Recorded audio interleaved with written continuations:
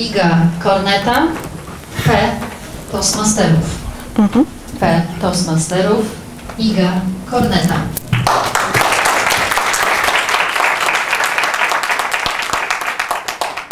Ha. Wiecie, to jest super mieć taką publiczność. Jeszcze gdybyście tak poskandowali trochę moje imię, tak Iga, Iga, Iga, Iga, Iga. Jest! Serce rośnie jak u Kochanowskiego niemalże. We fraszkach. Okej, wiecie? Niedługo zostałam po raz kolejny mentorką. To jeszcze samo w sobie nie byłoby nic przerażającego, gdyby nie to, że 1 listopada będzie moja droga rocznica, jak jestem w Toastmasterach. To też jeszcze nie byłoby nic przerażającego, gdyby nie to, że ostatnio zdałam sobie sprawę, że jeżeli nie umrę, ani nic takiego, do końca października, to 30 października zrobię zaawansowanego mówcę srebrnego ACS. I to, jak zdałam sobie z tego sprawę, to już troszeczkę zaczęło mnie przerażać. To znaczy, pierwsze co było, to będąc mną, wpadłam w depresję naturalnie. tak, to moja naturalna reakcja.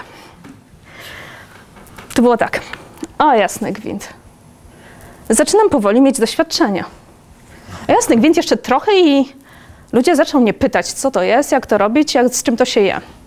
Ostatnio, nawiasem mówiąc, moje najczarniejsze myśli się spełniły, ponieważ siedząca tutaj Milena poprosiła mnie o to, żebym po, poprosi, poprosiła mnie i inne osoby z klubu o to, żeby, żebyśmy pojechali i pomogli klubowi w Białymstoku. Gdzie jest Białystok? Tam jest Białystok. Cześć Białystok. Więc, wracając do opowiadania. Najczarniejsze moje myśli się speł- spełniły, akurat wtedy do Was nie pojadę, także cześć jeszcze raz. Kurczę, mam doświadczenie. Okej. Druga moja myśl. No dobra, no ale jestem Toastmasterem, w związku z czym to, co zrobię na ten temat, to może zrobię w takim razie przemówienie, wygłoszę je w odpowiednim audytorium, a później już na pewno nikt mnie nie poprosi o pomoc. Tak, dobrze. W związku z czym dzisiaj usłyszycie dokładnie, jakie moim zdaniem można dostać doświadczenie w Toastmasterach. W związku z czym, moim zdaniem, program w Toastmasterów sprowadza się do trzech P.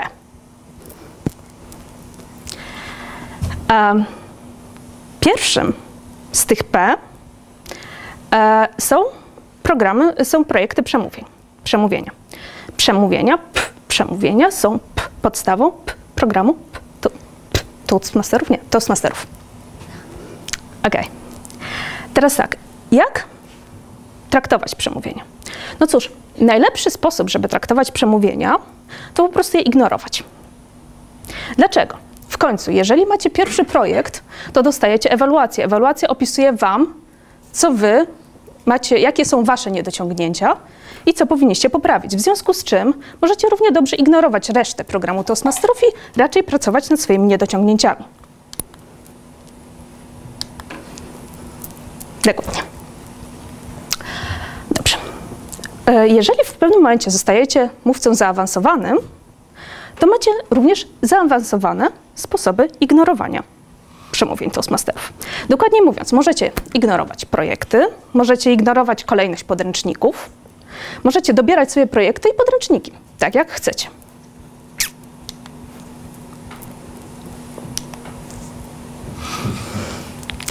Tak. To jest tyle a propos przemówień. Drugim filarem projektu, programu Toastmasterów są projekty liderskie. Projekty ze ścieżki lidera cechują się tym, że każdy z tych projektów tak naprawdę rozwija jedną, drobną, małą umiejętność. E, Te projekty zbieracie je do kupy, zbieracie je razem. Później, w miarę jak jesteście w Toastmasterach, one coraz bardziej, wchodzicie coraz, na coraz bardziej wyższe poziomy.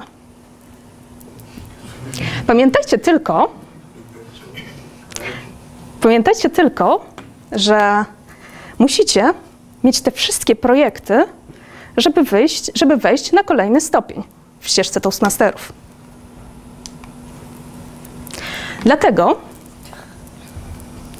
dlatego moim ulubionym nazwą dla tego typu projektów to są projekty oficerskie, które ewolucyjnie mogą odnaleźć mm, Napoleona. Jeszcze tego nie dopracowałam, ale na pewno będzie to dobrze się skracało. Ok. To jest, to jest druga część, drugi filar Toastmasterów. Został jeszcze część trzecie P. Trzecie P to jest polityka. Są dwa rodzaje, są dwa projekty na ścieżce Toastmasterów, które, które oznaczam dla siebie jako programy, jako projekty polityczne. To jest po pierwsze zostanie wybranym i później bycie oficerem klubu, a później zostanie wybranym, a później bycie oficerem dystryktu. Tutaj te projekty cechują się tym, że najpierw naprawdę musicie zostać wybrani, żeby móc robić te projekty. Stanie wybranym, stanie wybranym to jest tutaj ten e, próg. To jest tutaj ten próg. Ok. Jeżeli chcecie robić te projekty, to chwała Wam. Musicie pamiętać tylko o dwóch sprawach.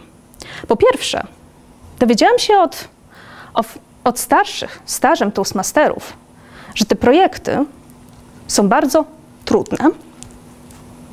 Bardzo trudne. A po drugie, dowiedziałam się, że te projekty są również bardzo ważne. Także pamiętajcie, od tych projektów, od waszego wystąpienia w tych projektach zależy przyszłość organizacji. I teraz pamiętajcie, to są trzy filary, trzy P Toastmasterów. Mam nadzieję, że to przemówienie wam się, przy, wam się przydało i idźcie z moim błogosławieństwem, idźcie, róbcie projekty. Niech wasze przemówienia będą pełne nieśmiesznych żartów i tanich anegdot. Niech wasze przemówienia będą pełne emocji ludzi, których tak napra- naprawdę, którzy tak naprawdę nikogo nie obchodzą. Niech wasze przemówienia będą niesamowite, a wasze lędźwia pełne ognia. Chociaż może nie to ostatnie, bo to ostatnie to syfilis. Dziękuję bardzo.